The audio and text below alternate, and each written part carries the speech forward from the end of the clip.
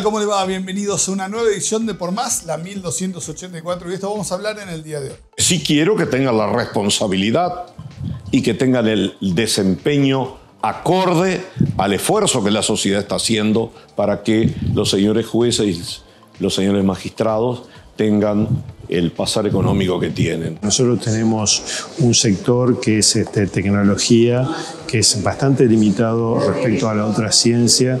Nosotros tenemos que apoyar eso porque justamente es aquí, digamos, donde uno puede trasladar, digamos, lo que este, se hace en los laboratorios. Siempre ha sido un destino importante, desafiante, eh, porque entrar al final es, el país más, uno de los países más importantes eh, del mundo. Cuando me comentan que estaban abiertos los capítulos de Santa Fe, de Córdoba, dije, tiene que estar Entre Ríos, es nuestra región centro, es nuestra posibilidad de darle ese impulso a, la provincia y, y uno poder colaborar así. Las siguientes empresas e instituciones presentan por más. Biosolares, la mejor energía. Automotores Mega Concesionario oficial Mercedes-Benz. Alimento balanceado Nutrilar. Calidad integral. Coopar. 69 años potenciando el desarrollo de nuestros asociados. Banco de Entre Ríos. Acá para vos. Agrolac Paraná. Implementos para la industria láctea. Laboratorios La Fedar desde Entre Ríos al mundo. Leiva, 30 años potenciando negocios en la región. Colegio de Profesionales de la Agronomía de Entre Ríos, 30 años de compromiso con nuestra profesión. Johnson Amoblamientos, innovación y diseño con alta tecnología. Cree en tu sueño. Leffler Dietz, hacemos lo mejor.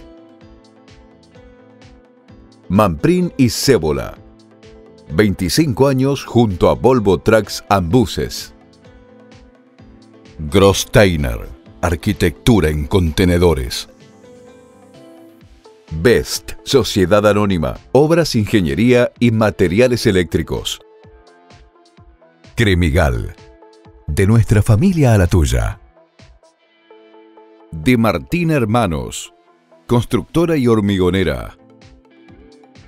Rotex, para su producto huevos AA. Arroz Noble, de la cooperativa Arroceros de Villa Elisa. Grupo CDS, desarrollos que transforman. Intellimation, acercamos soluciones tecnológicas a las industrias. Grand Emprendimientos. Arquitectura como valor agregado. Gross. Calidad que avanza. Dimaco. Materiales para construir nuestra provincia. El Hinojo Sociedad Anónima. Negocios agropecuarios asociativos. Folmer. Concesionario oficial Case para Entre Ríos. Arús. Experiencia y profesionalidad en comercio exterior. Vitrex. Industrialización del vidrio. Distribuidor oficial Vasa y Blindex. Integrante de la red Ecoglass. Pinturas Sorbaloc. Calidad certificada ISO 9001. Petropac. Fábrica de envases flexibles. ENSA Ascensores panorámicos neumáticos. Hoy vamos a tener un programa bastante particular porque vamos a hablar de algunas cuestiones muy conceptuales, sobre todo en los tiempos que están eh, transcurriendo, las discusiones que se están dando a nivel país y los conceptos que constantemente se llaman como verdades absolutas y que tranquilamente pueden ser modificadas. En Argentina hemos perdido esa capacidad de repreguntarnos cosas de dejar de dar por sentado cuestiones que uno cree que son así y tienen que seguir siendo siempre así. Uno de ellos es la famosa frase derechos adquiridos. ¿Qué son los derechos adquiridos? ¿Para qué sirven? ¿Cuándo se pueden modificar los derechos adquiridos. Y para eso vamos a arrancar este programa hablando con uno de los abogados eh, más prestigiosos que tiene la provincia de Entre Ríos, y estamos hablando del doctor Julio Federic. Eh, abogado que fue profesor universitario durante muchísimos años, no solamente en la Universidad Nacional del Litoral, sino también en varias universidades como la Austral, entre otras. Fue eh, constituyente en el año 2008 de la constitución de la provincia de Entre Ríos, uno de los principales actores en aquella convención, y también fue el redactor del Código Procesal Penal, quien hizo el Código Procesal Penal en la provincia de Entre Ríos. Si queremos hablar de la trayectoria del doctor Federic, podemos estar un buen rato, pero vamos a meternos en esta primera parte preguntándole qué son los derechos adquiridos y si se pueden cambiar, aunque sea con efecto hacia futuro, dejando lo que ya está hacia atrás. Los derechos adquiridos son derechos que están eh, otorgados a, determinadas personas en, situaciones, situaciones especiales y bueno, a partir de ahí esos derechos eh, no se tocan. ¿Cuándo no se tocan?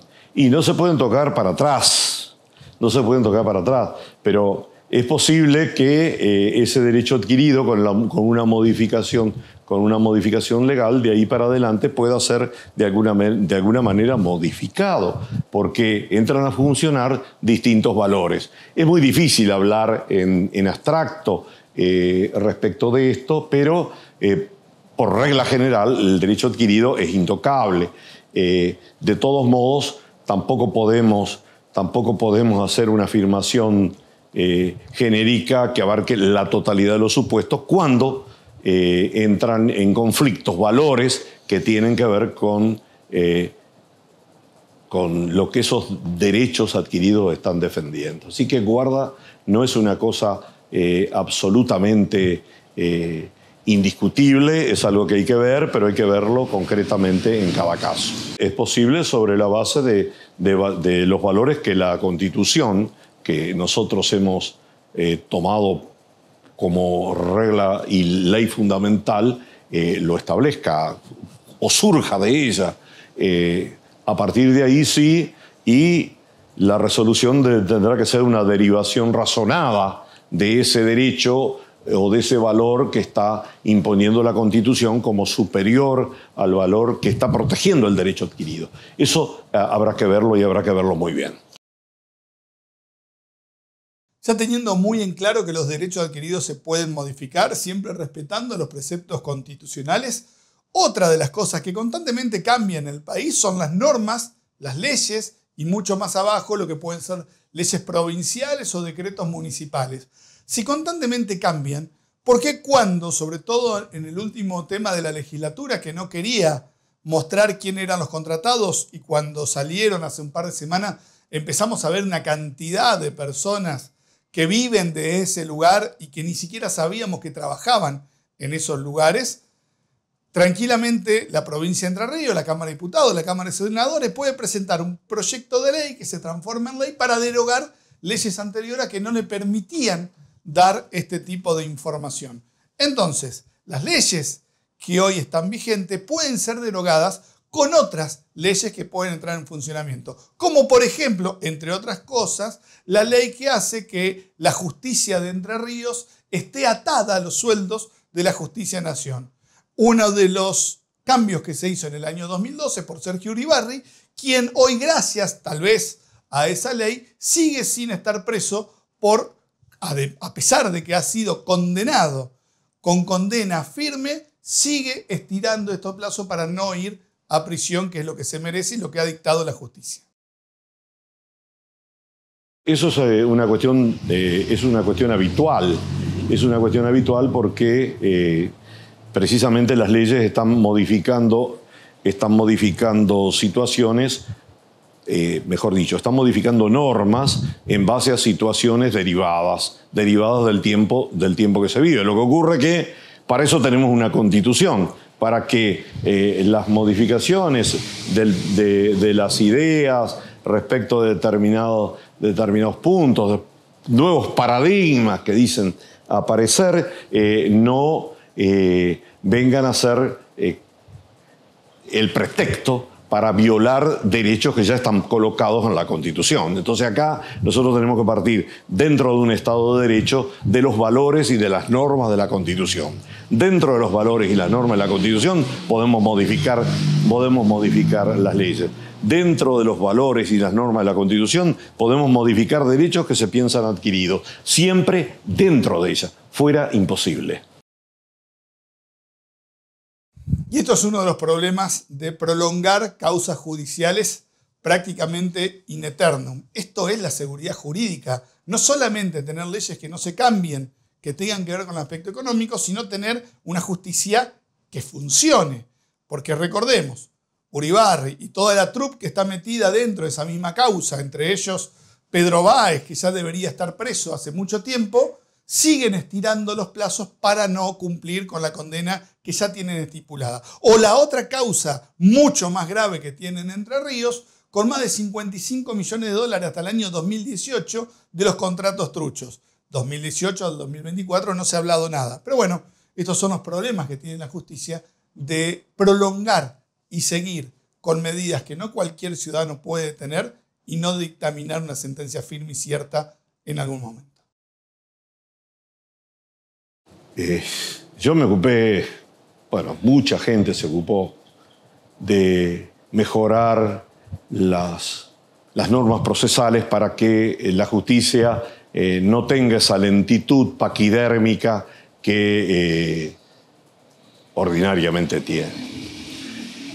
Se ha trabajado mucho y se ha trabajado con tesón y muchísimas cosas fueron arregladas. Ahora no podemos arreglar todo de golpe. De todos modos, hay situaciones que no, que no pueden ser eh, sostenidas como que una causa tenga una duración absolutamente incompatible con, el, con lo que está investigando, con el objeto de lo que está investigando. Es, es algo realmente inaceptable.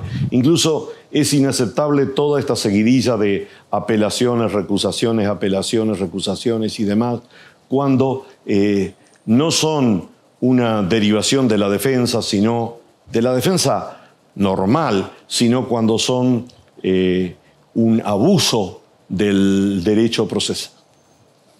Eso no puede ser. Eso no puede ser.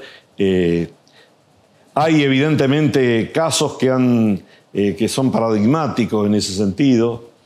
Hay casos que demoran más de 10 años, más de 12, más de 15 años, y la verdad es que eh, hay que ver también quién es el responsable de esa demora, porque muchas veces, muchas veces eh, es la defensa, pero otras veces no está ni en la defensa ni en la jurisdicción, a veces está en la lentitud de la acusación. Eh, acá las cosas tienen que hacerse conforme la ley establece y demás. Tampoco estoy de acuerdo con fijar eh, pautas, nuevas, nuevas pautas eh, o nuevas normas que establezcan tiempo determinado. Acá el, el criterio está perfectamente legislado ya, que es el plazo razonable. ¿Por qué se dice plazo razonable? Y no se puede poner Ustedes no me pueden decir que, que se va a investigar una estafa, una estafa múltiple, eh, compleja, una estafa bancaria, o un secuestro extorsivo, o un secuestro, claro, donde no aparece, no aparece la persona secuestrada, que le vamos a poner un año, un año y medio, y que más de ese tiempo no puede ser si no vamos a sobreseer la causa. No podemos establecer prescripciones más allá de las que ha colocado el Código Nacional porque son materia de la, materia de la legislación nacional. Entonces, acá lo que necesitamos es que de una vez por todas, todos los jueces se pongan las botas y digan cuándo es plazo razonable en la causa que tienen, en esa, esa causa concreta, a ver si hay plazo razonable o no hay plazo razonable, que es la pauta que establece eh, en definitiva eh, la ley internacional. Entonces, eh, no, podemos, no podemos decir que, que hay un, plazo razonable cuando lleva más de dos años y se trata de, una causa, de una causa menor, de una causa de fácil investigación. Pero yo, les digo concretamente, ¿cuánto tiempo se investigó la, desaparición de Fernanda Aguirre? ¿Qué la vamos, vamos a cortar eso? ¿Vamos a cortar la investigación? No, se investigó más de 20 años y no se logró resultado.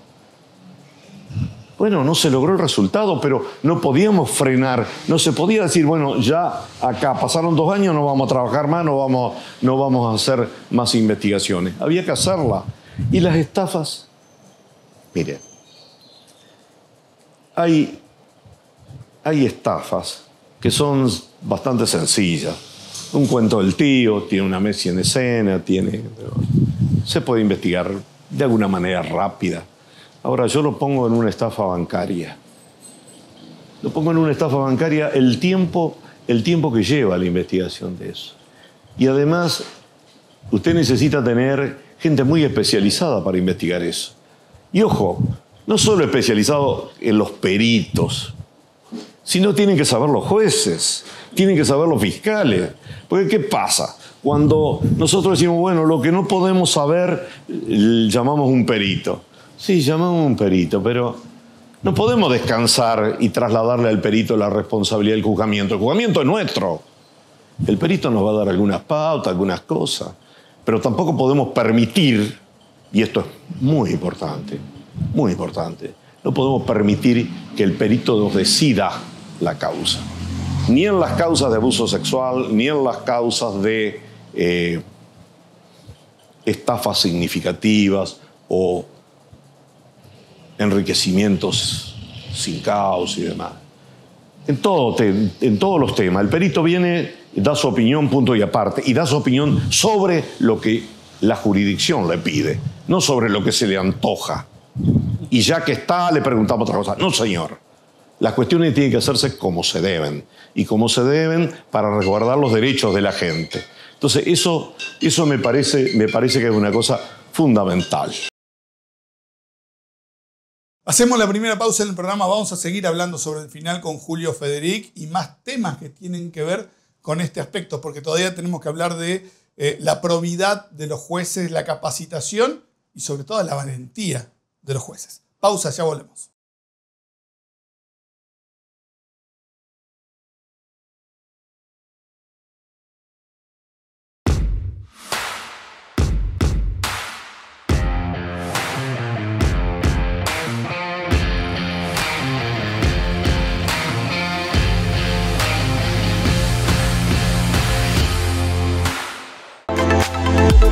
Biosolares, empresa líder en Entre Ríos, especialistas en energía solar fotovoltaica.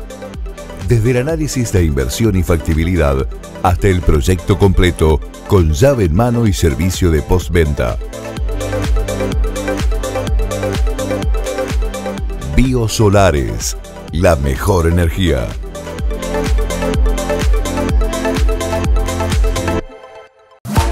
La mejor opción regional para tu economía. El hipermercado de la agrícola regional. Te ofrece una opción diferente. Calidad, variedad y servicios al precio justo. Moreno 1404, Crespo, Entre Ríos.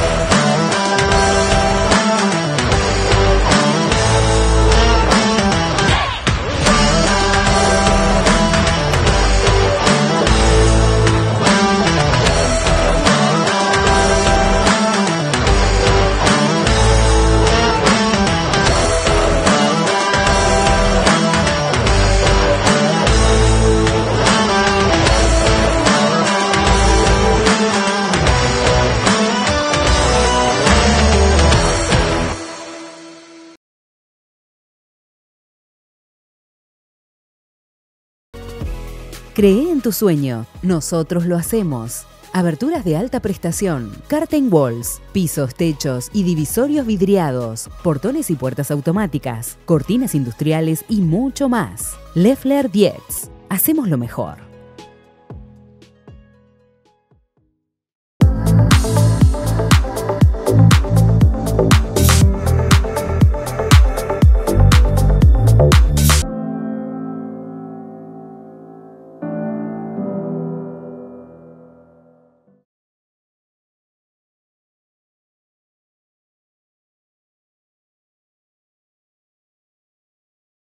Y la semana pasada tuvimos la posibilidad de tener esta entrevista con el presidente del CONICET, el actual presidente del CONICET, un entrerriano oriundo de María Grande, eh, una persona de investigación respetada a nivel internacional, fue nada más ni nada menos que el creador de la oveja Dolly, aquella primera eh, trabajo genético que se hizo de allá a principios del año 2000, cuando se llegó a esta situación. Bueno, Daniel Salomón fue el principal responsable, después siguió trabajando mucho más en aspecto genético y hoy está al frente del CONICET. Con él hablamos para entender cuál es el CONICET que se pretende hoy. Bueno, el, CONICET de hoy tiene que estar extremadamente ligada a la producción de todas las áreas y tiene que estar interrelacionada a la actividad privada. Es decir, cuando es cierto que hay áreas de investigación básica que debemos mantener porque generalmente son, digamos, en gran medida este, la inspiradora de las tecnologías más disruptivas. Es cierto que hay eh, cuestiones que tienen que ver con la historia, la identidad y todo eso que este, este, nosotros tenemos un rol.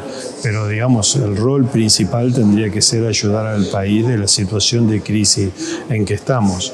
En un país donde vos tenés más del 50% de pobres, es decir, necesitamos mejorar la situación económica y las personas con el más alto grado académico y la mejor capacitación que te puedes imaginar, obviamente tienen un rol que es muy importante. Y en línea con lo que se viene haciendo desde el gobierno nacional, hoy también el CONICET está en revisión. ¿Cuál es la realidad hoy del CONICET? ¿Qué es lo que se pretende? ¿Qué es lo que se busca? En la ciencia y en la tecnología. Los investigadores están. Argentina tiene un potencial tremendo para desarrollar en este instituto que puede ser uno de los eh, argumentos básicos para generar el crecimiento del país. Ahora tiene que producir cambios profundos para lograr este objetivo. Bueno, lo principal que tenemos que tener en cuenta cada vez que realizamos un experimento que estamos usando en muchos casos fondos públicos del hecho mismo de que tenemos un salario. Entonces el espíritu nuestro tendría que ser de servicio a la sociedad más allá del hecho de este, volcarnos solamente, digamos, a, este, nuestros deseos de investigar este, un tema en, especial. Eh, insisto, hay áreas básicas que si uno le hace bien pueden terminar en una tecnología muy disruptiva. Eso hay que siempre dejar ese libre juego y, tener una proporción. Pero parte de, gran parte de nosotros deberíamos volcarnos a tratar de alguna manera colaborar con el esfuerzo que está haciendo en este momento la sociedad, tratando de ayudar a que aparezcan productos disruptivos, ayudar a que, digamos, este, surjan nuevas empresas o que empresas este, eh, pasen a ser mucho más innovadoras de los que son hoy.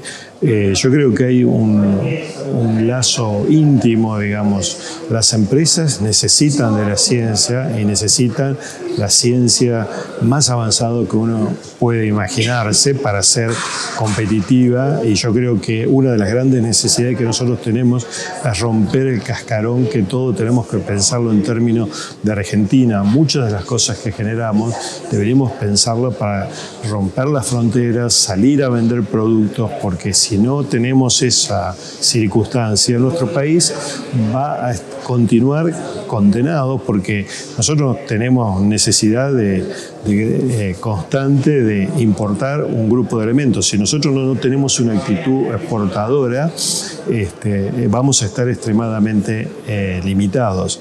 Y si queremos tener esa capacidad, bueno, realmente hay que hacerlo con productos totalmente innovadores.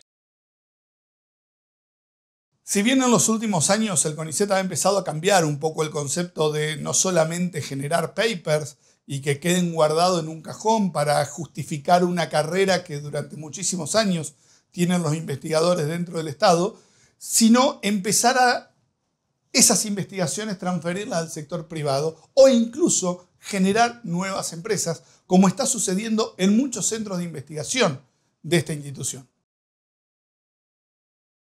Ya con ISET está, eh, cambió un poco ese setup y debemos intensificarlo mucho más. Es decir, nosotros tenemos un sector que es este, tecnología, que es bastante limitado respecto a la otra ciencia. Nosotros tenemos que apoyar eso porque justamente es aquí, digamos, donde uno puede trasladar, digamos, lo que este, se hace en los laboratorios o lo que se este, diseña, digamos, en la oficina, trasladarlo este, a la sociedad. Este, yo creo que este es este, un camino que es eh, esencial y que hay que premiarlo y hay diferentes formas de premiarlos que tiene CONICET. Es decir, CONICET le da opciones, digamos, a quien genera una startup incluso a tener un rédito económico. Entonces, el mejor estímulo es ese, porque implica, digamos, una mejora muchas veces este, muy importante en términos de salario. Entonces, este, a veces creo que nosotros deberíamos, en vez de tener, digamos, una retórica de que este, el dinero no alcanza, el dinero que le brinda la sociedad es, este, es, es, importante y más cuando uno este, evalúa la institución eh, que tenemos, este, en donde está formado por un gran número eh, de individuos, es decir, una forma que eh, es lícita, que CONICET permite y que la sociedad de alguna manera va a premiar, es cuando se le brinda este, este, una ayuda para mejorar la producción, para mejorar la industria. Es decir, hay toda una amplia gama en que podemos este, cooperar, ¿no? que va incluso a áreas este, impensadas. Nosotros hace poco tiempo en la provincia de Tucumán se estaba eh, firmando con el ente de turismo, digamos, con estudio, algo que uno dice que es eh, eh, bastante difícil de que pueda ser rentable, ¿no? que, como la arqueología, en la cual se descubre una ciudad que tiene más de, de 100 años, más de 2000 años de antigüedad. Entonces, este, existe la posibilidad de crear todo un circuito turístico. Hay más de, de 100 casas de la época de Jesucristo en nuestro territorio. Imagínense en eso en términos de, de, turismo, un sector que generalmente genera hasta el 20-25% de los servicios. Entonces, este, la cuestión que yo creo en gran medida pasa por cambiar el paradigma. Este, durante muchos años uno pensó la, la ciencia como algo impoluto y que, digamos, era de los laboratorios y para escribir paper, como vos hacías este, mención. Es decir, también tenemos que pensar, digamos, en eso. No está mal hacer eso, está muy bien hacerlo y aspiramos a continuar en esa dirección. Pero también es muy importante, de alguna manera, de volcar lo que nosotros producimos este, para el beneficio de la sociedad mucho más inmediato. ¿no? Muchas veces nuestras investigaciones tienen un impacto 20 a 25 años, pero siempre en el proceso tenemos cosas para brindar que pueden ayudar de alguna forma a la sociedad. Y por último le preguntamos a Daniel Salamoni uno de los aspectos que conocemos hace muchos años y que nunca logramos entender por qué. Entre Ríos es la provincia con menos investigadores del CONICET de la República Argentina. ¿Por qué y cómo se puede solucionar esto? De, alguna manera, por lo menos lo que uno percibe, no haciendo foco en temáticas que son muy importantes para la provincia, sino, digamos, en temáticas que son interesantes, pero que no necesariamente este, van a tener un impacto económico en lo inmediato. Bueno, primero este, hay ya en este momento, digamos, una tendencia y un pensamiento a la vinculación, a la transferencia tecnológica. Hay iniciativas dentro de la provincia que van en esa dirección y después desde CONICET ayudaremos, digamos, a, reorientar, digamos, y sobre todo, digamos, que la población de investigadores este, esté mucho más volcado, digamos, a, a cosas que sean más tangibles para la sociedad. Nosotros, por ejemplo, ayer estuvimos en Libertador San Martín, en la Universidad Adventista del Plata.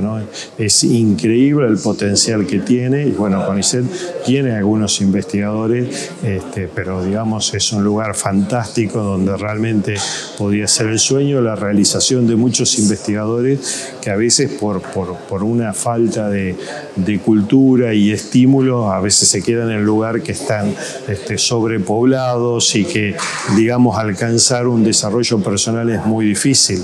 En la medida que nosotros digamos mostremos estos lugares y, estimulemos en ciudades como Paraná que tiene digamos todos los beneficios de cualquier gran ciudad, este, sobre todo si hay una atmósfera emprendedora y de negocio que estimulen eso, bueno, seguramente va a ayudar a que este, algunos de nuestros investigadores o núcleos de nuestros investigadores eh, se vengan a la provincia a colaborar.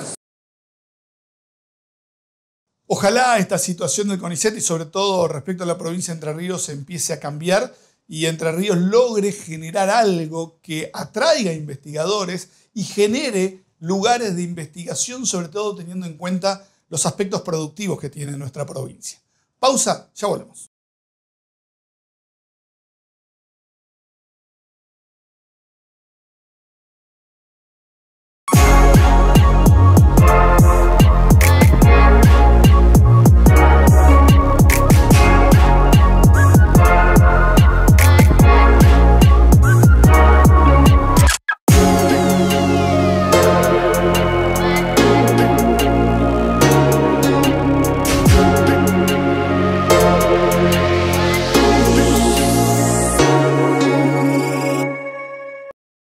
Con la mejor atención, con el mejor servicio, con la más alta tecnología. Acompañamos al productor entrerriano desde hace más de 60 años. Folmer, concesionario oficial Case para Entre Ríos. Encontranos en Villaguay Crespo o en maquinarias.folmer.com.ar.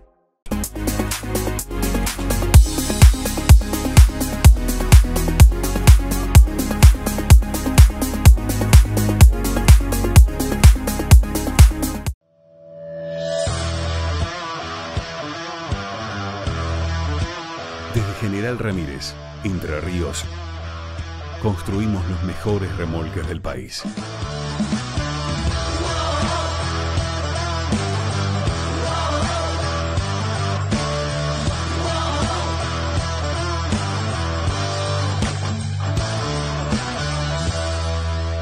Gross, calidad que avanza.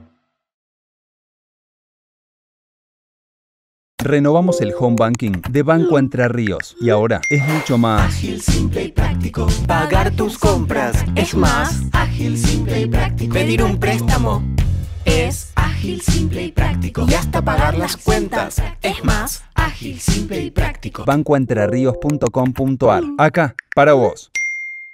La cooperativa Arroceros Villa Elisa. Primera arrocera en el mundo en certificar ISO 22000 una de las principales empresas exportadoras de arroz elaborado del país, generando trabajo local. Reconocida por su compromiso social en ámbitos provinciales y nacionales. La cooperativa Arroceros Villa Elisa, más de 35 años acompañando a productores de la región.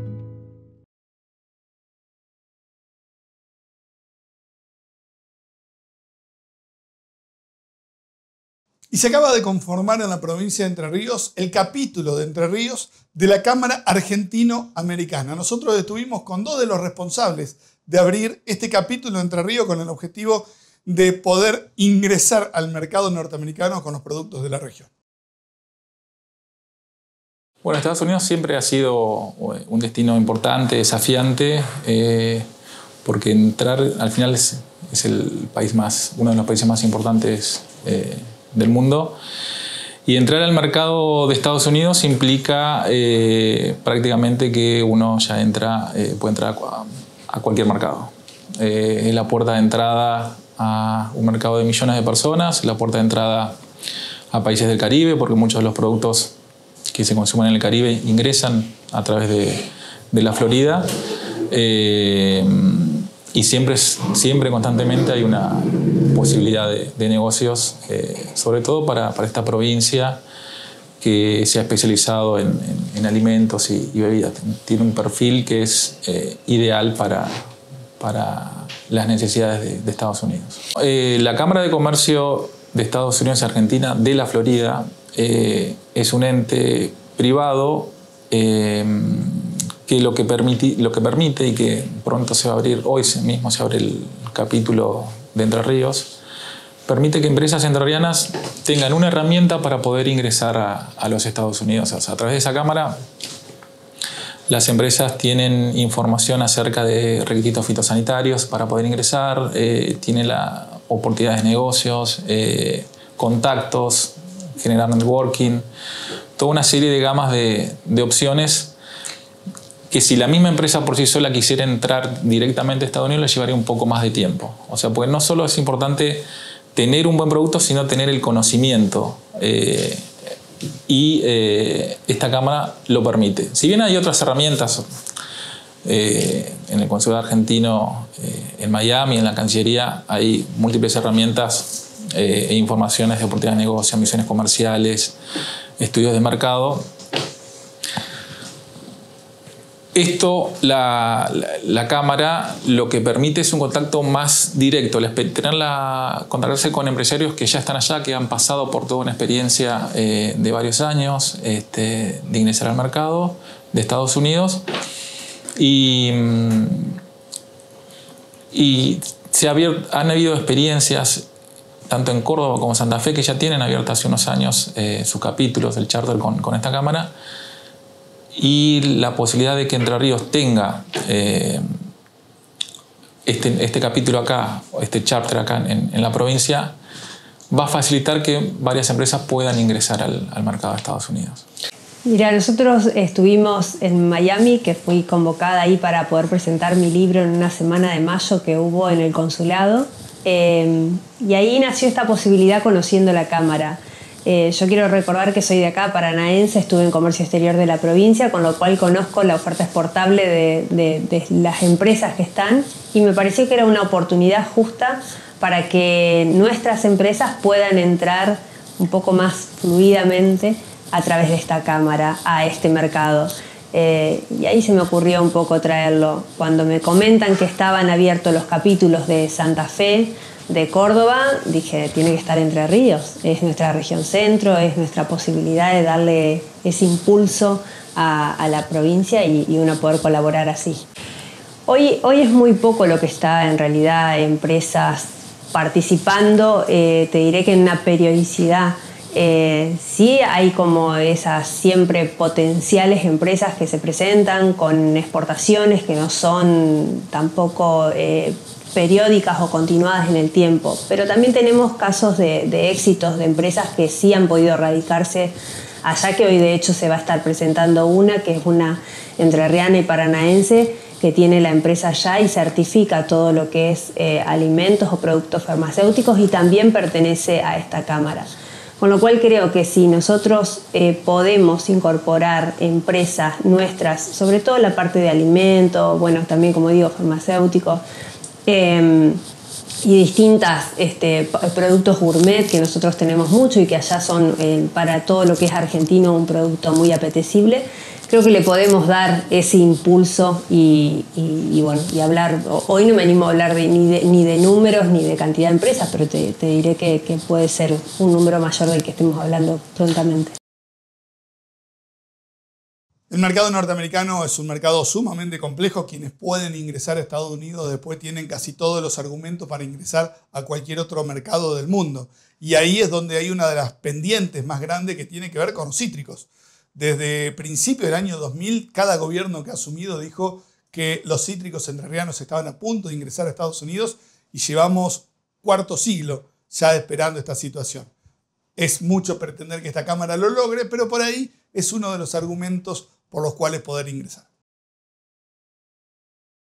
Fácil no es, ¿sí? Pero como yo siempre digo, este, cuando uno empieza a copiar las cosas que ya están hechas, se hace el camino un poco más corto. Entonces, eh, creo que si vos este, querés entrar solo, el tiempo y los costos son otros, pero cuando ya el camino está allanado, eh, se te hace un poco más, más fácil. Entonces, me parece que esa es la forma. Y después, la cantidad de argentinos que hay allá ha crecido muchísimo, hay un montón. Y, y también entrerrianos, ¿no? Y creo que cuando uno está en otro lado siempre busca un poquito de, sentirse cerca, ¿viste? Los argentinos no dejan de tomar el mate, los argentinos no dejan de querer el dulce de leche, de tener todas las costumbres nuestras que nosotros cuando estamos en otros lados siempre queremos buscar. Y me parece que eso también va a acercar a, las empresas a poder estar. Y después las costumbres, el, latino, cada vez este, ahí hay es una diversidad muy grande y que, deja ya de tanto de ser el norteamericano. Entonces, me parece que los productos nuestros son, son, son apetecibles. A ver, lo he, lo he visto, lo he buscado, lo he testeado también y esta cámara de hecho son empresas de argentinos que se fueron, se radicaron allá y tienen 20, 30 años ahí este, y por eso también han crecido y han continuado en este tiempo. Nosotros vamos a hacer el contacto, que vamos a estar con, con mi marido, con Pablo Presas, los dos a la cabeza. En este momento estamos los dos eh, radicados y viviendo en Concepción del Uruguay. Em, hacemos el lanzamiento. Nosotros lo que estamos haciendo ahora es empezar este primer pie para ponerlo acá en la ciudad, en la provincia. Vamos a armar convenios con distintas cámaras que ya están acá funcionando muy bien, como todos conocemos. Eh, Consejo Empresario, UIER, Unión Industrial, eh, o sea, me, refiero a todas, con todas nos hemos ya puesto en contacto y hoy vamos a empezar este, este primer paso a armar estos convenios y, agendas de trabajo para empezar ya con, con distintos pasos que podamos dar eh, ya sea capacitaciones, este, nuevas eh, misiones que podamos hacer. Hoy las plataformas este, de lo que es la parte tecnológica nos acercan mucho más eh, como esos primeros pasos, así que, bueno, nosotros seremos ese, esa, esa vidriera para esta cámara hoy. Pausa, enseguida volvemos con Julio Federico.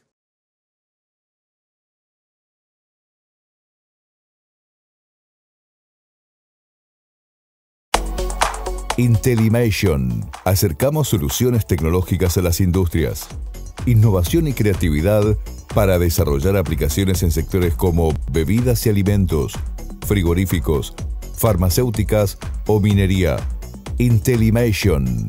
Potenciando industrias de la región y el mundo desde hace más de 20 años.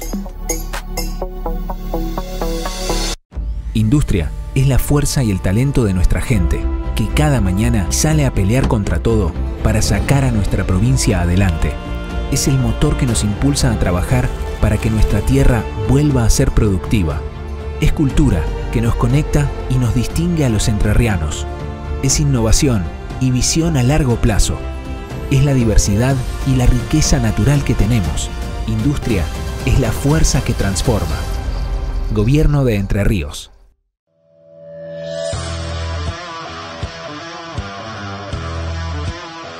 General Ramírez, Entre Ríos. Construimos los mejores remolques del país.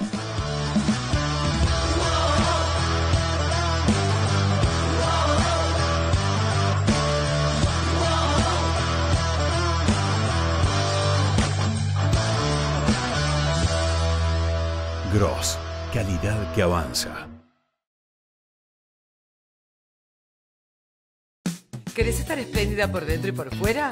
Ahora podés. Llegó 4H, único producto en Latinoamérica que reúne tres moléculas en una sola cápsula. Alta concentración de resveratrol, colágeno y ácido hialurónico. Gran poder antioxidante, disminuye signos de envejecimiento, incrementa la renovación celular, fortalece cabellos y uñas.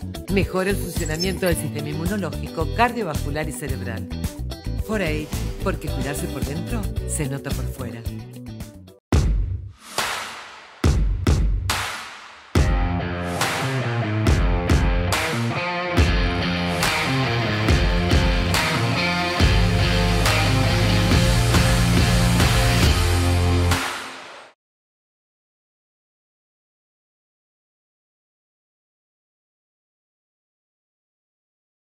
En el primer bloque comenzamos a hablar con el abogado Julio Federic, uno de los abogados más prestigiosos que tiene la provincia de Entre Ríos, y el objetivo de esta nota es empezar a dejar algunos conceptos que para todo el mundo son sentencia clave, firme, imposible de modificar.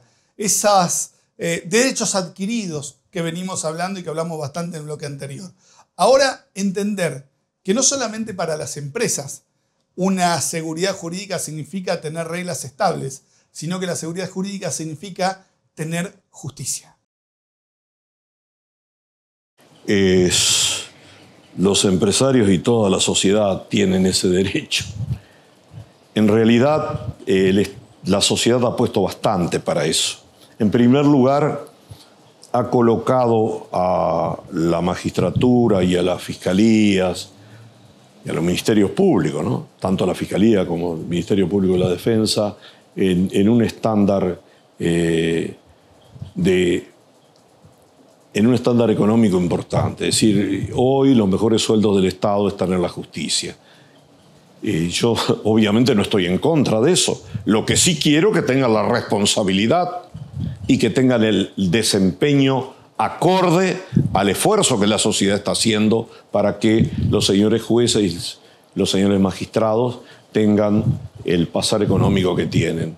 Parece perfecto, pero señores, pongamos todo, todo el esfuerzo, toda la fuerza y toda la dignidad en el ejercicio, en el ejercicio de sus magistraturas como para que la sociedad tenga una respuesta adecuada respecto de eso. Esto significa que necesitamos que cada uno tenga una formación superior, no a la del vecino, a la que tuvo ayer, a la que tuvo antes de ayer y a la que tuvo el año pasado, que tenga mayor formación, que tenga mayor información, no solamente la información del expediente, sino que tenga una información, una información que capte también qué es lo que está pasando en la sociedad. Necesitamos que tengan el empuje y que tengan el coraje de decidir con independencia de criterio.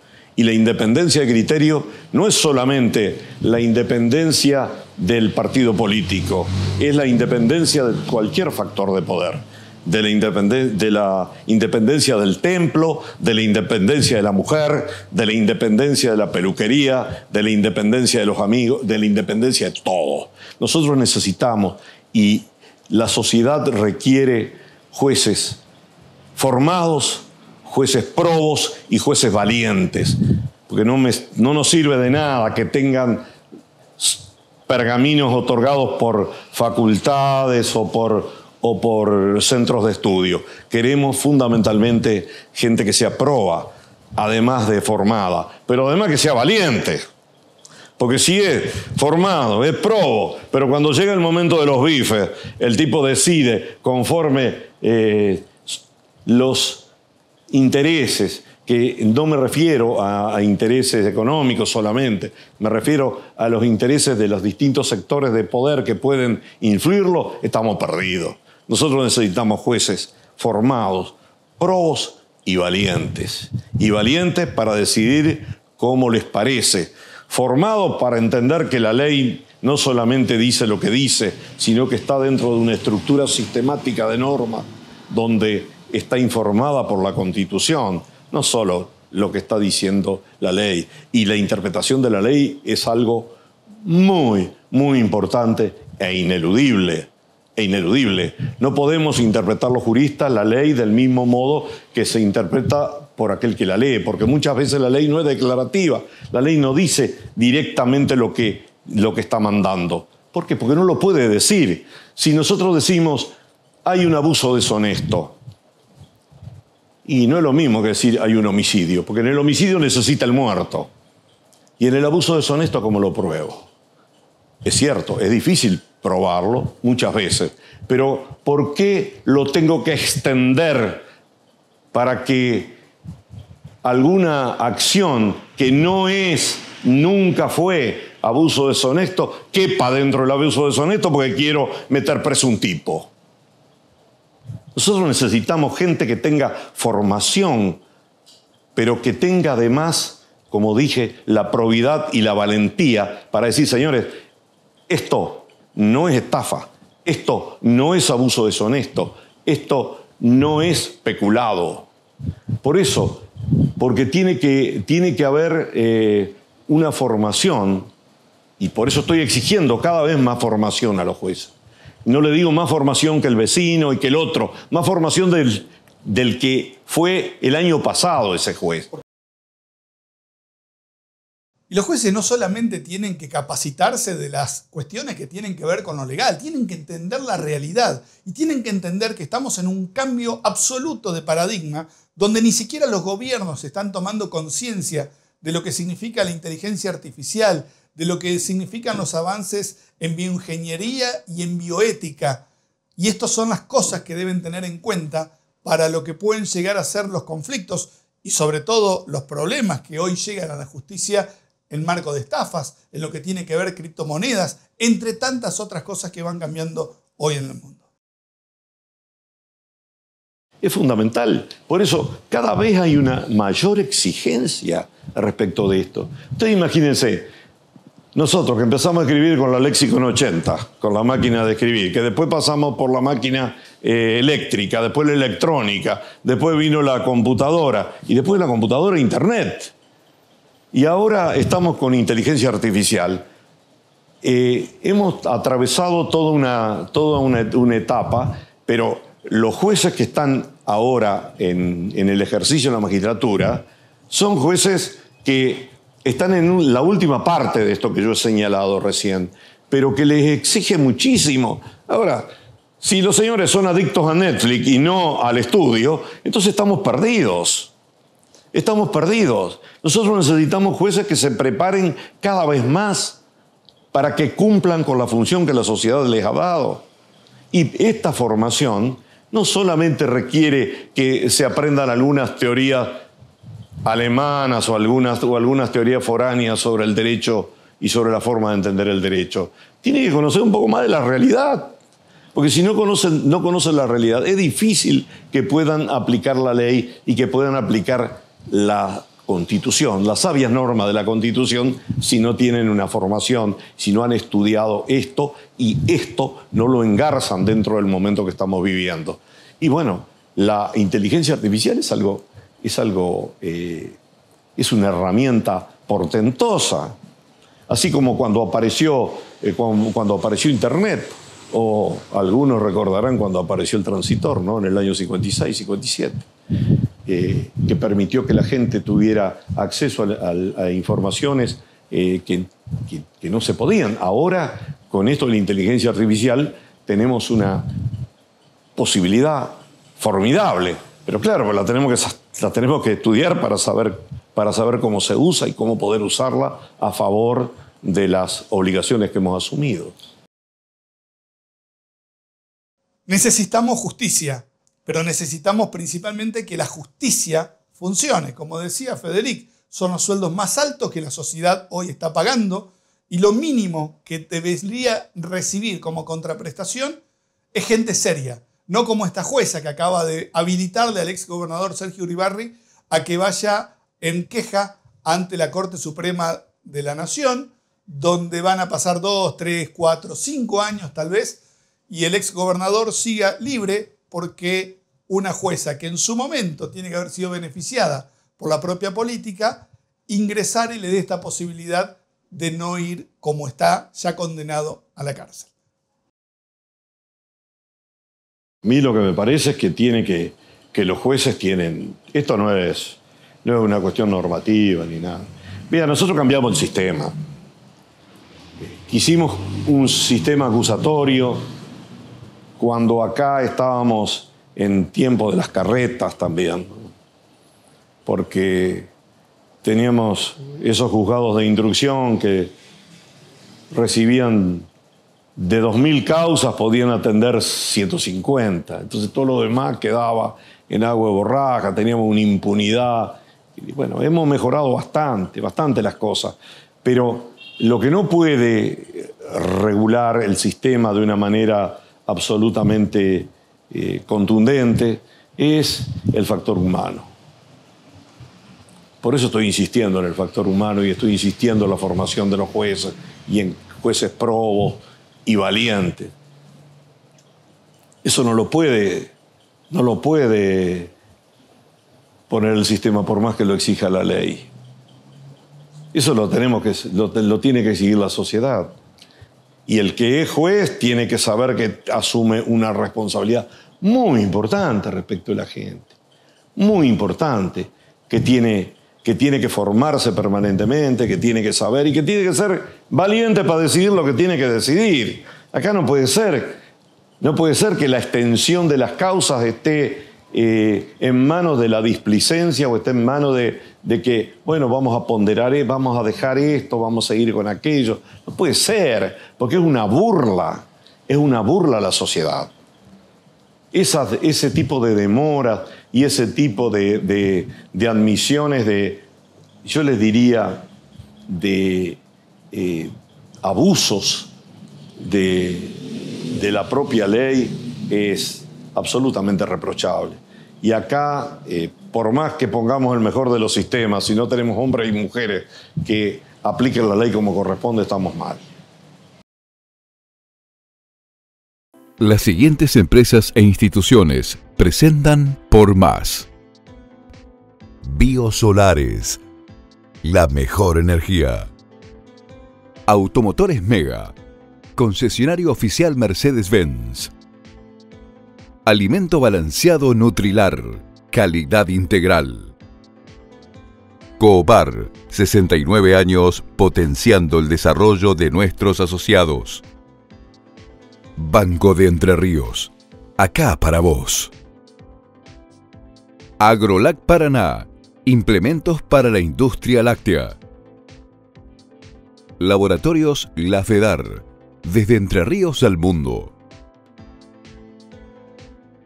Leiva, 30 años potenciando negocios en la región. Colegio de Profesionales de la Agronomía de Entre Ríos, 30 años de compromiso con nuestra profesión. Johnson Amoblamientos, innovación y diseño con alta tecnología. Cree en tu sueño. Leffler Dietz, hacemos lo mejor. Manprin y Cébola. 25 años junto a Volvo Trucks and Buses. Grossteiner, arquitectura en contenedores. Best, Sociedad Anónima, Obras, Ingeniería y Materiales Eléctricos. Cremigal, de nuestra familia a la tuya. De Martín Hermanos, constructora y hormigonera. Rotex, para su producto Huevos AA. Arroz Noble, de la Cooperativa Arroceros de Villa Elisa. Grupo CDS, Desarrollos que transforman. Intellimation, acercamos soluciones tecnológicas a las industrias. Grand Emprendimientos, arquitectura como valor agregado. Gross, Calidad que avanza. Dimaco. Materiales para construir nuestra provincia. El Hinojo Sociedad Anónima. Negocios agropecuarios asociativos. Folmer. Concesionario oficial Case para Entre Ríos. Arús. Experiencia y profesionalidad en comercio exterior. Vitrex Industrialización del vidrio. Distribuidor oficial Vasa y Blindex. Integrante de la red Ecoglass. Pinturas Sorbaloc. Calidad certificada ISO 9001. Petropac. Fábrica de envases flexibles. ENSA. Ascensores panorámicos neumáticos. Llegamos al final de una edición más de Por Más fue la número 1284. Nos volvemos a encontrar como siempre semana próxima en este espacio. Gracias por acompañarnos. Hasta entonces.